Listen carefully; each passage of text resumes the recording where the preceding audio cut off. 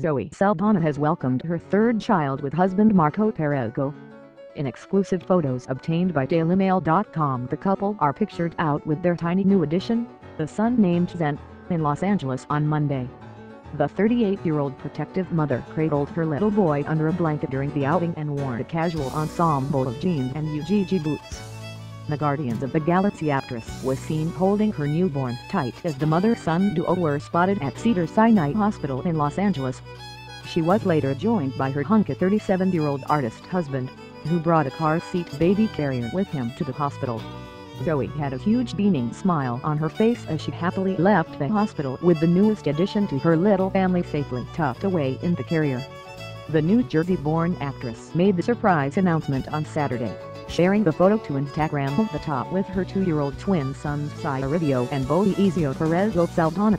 Marco and I are elated to share the news of the birth of our sons and we couldn't feel more blessed with the new addition to our family. Number sign 3 Go East. Oh boy. The actress didn't give any more details.